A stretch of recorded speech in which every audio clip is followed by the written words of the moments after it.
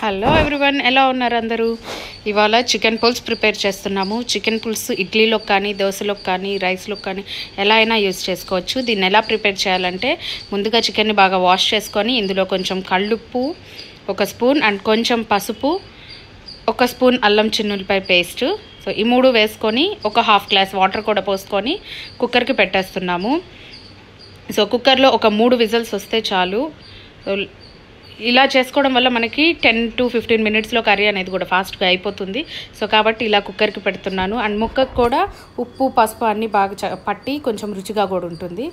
So ఈలోపు whistles వచ్చేలోపు ఇక్కడ మనం మిక్సీ వేసేసుకుంటున్నాము. ఆనియన్స్ ఒక ఫైవ్ తీసుకున్నాను. అండ్ ఒక హాఫ్ కొబ్బరి ముక్క ఒక నాలుగు పచ్చిమిరపకాయలు ఒక పది జీడిపప్పులు గసగసాలు ఒక స్పూన్ గసగసాలు కొంచెం కొత్తిమీర మొత్తం వేసుకొని మనం ఇక్కడ మిక్సీ పట్టేసుకుందాం. సో టమోటా కూడా వేసుకోవాలి. టమోటాని ముక్కలు కోసుకొని పక్కన పెట్టేసుకుంటున్నాను. సో ఇక్కడ విజల్స్ కూడా వచ్చేసాయి. సో ఇప్పుడు ప్యాన్ పెట్టేసి ప్యాన్లో కొంచెం ఆయిల్ వేసుకొని ఆయిల్ కొంచెం హీట్ ఎక్కాక ఒక నాలుగు లవంగాలు చిన్న చెక్క ముక్క వేసుకోవాలి. సో అంతకన్నా ముందు మీరు ఏం చేయాలంటే ఛానల్ని సబ్స్క్రైబ్ చేసుకోండి. వెంటనే ఒక బెల్ సింబల్ కూడా వస్తుంది. దాన్ని కూడా ప్రెస్ చేయండి. నేను ఎప్పుడు వీడియోస్ పెట్టినా మీకు నోటిఫికేషన్ వస్తుంది అనమాట అలా బెల్ సింబల్ ప్రెస్ చేయడం వల్ల. సో ఇక్కడ నేను లవంగాలు చెక్క కూడా వేసేసుకున్నాను. సో ఇవి కొంచెం వేగాక ఇందులో మనం మిక్సీకి వేసుకున్న పేస్ట్ కూడా వేసేసుకోవాలి. సో ఇలా వేసుకోవడం వల్ల పేస్ట్ అనేది మనకి గ్రేవీ బాగా వస్తుంది.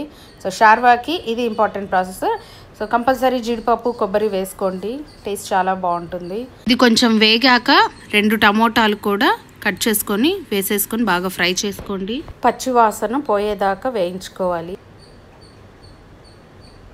రాస్మెల్ పోయాక మనం కొంచెం ఇందులో పసుపు ఇలా కొంచెం ఉడుకుతున్నట్టుగా వచ్చినప్పుడు కొంచెం పసుపు కొంచెం ఉప్పు ఆల్రెడీ చికెన్లో వేసున్నాం కాబట్టి చూసుకొని వేసుకోండి సాల్ట్ అనేది. సో రె రెండు వేసుకున్నాక కొంచెం బాగా వేయించుకోవాలి. సో వేయించాక ఇందులో కొంచెం అల్లం చిన్నులపై పేస్ట్ కూడా వేసాను. చికెన్లో వేసున్నాం కాబట్టి ఇక్కడ ఒక హాఫ్ స్పూన్ చాలు.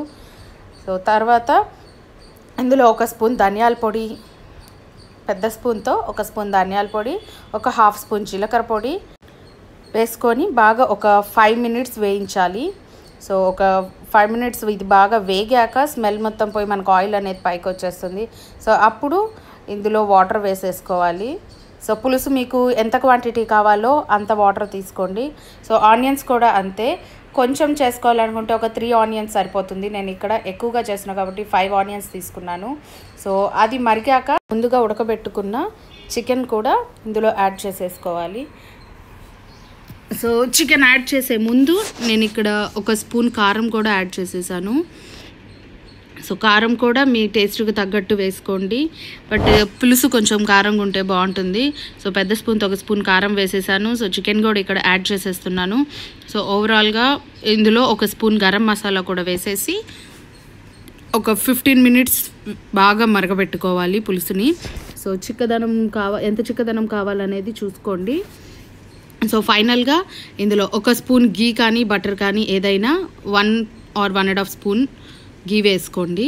ఇడ్లీలోకి కానీ దోశలోకి కానీ ఇలా పల్చగా ఉంటూనే బాగుంటుంది. సో ఇది ఒక పది లేదా పదిహేను నిమిషాలు బాగా మరగబెట్టుకోవాలి. సో ఫైనల్గా రెసిపీ అనేది తయారైపోయింది. సో మీరు కూడా ట్రై చేయండి. ఎలా వచ్చిందో కమెంట్ బాక్స్లో కమెంట్ చేసేసేయండి. లైక్ చేయండి సబ్స్క్రైబ్ చేయడం మర్చిపోకండి. So thanks for watching. Bye bye.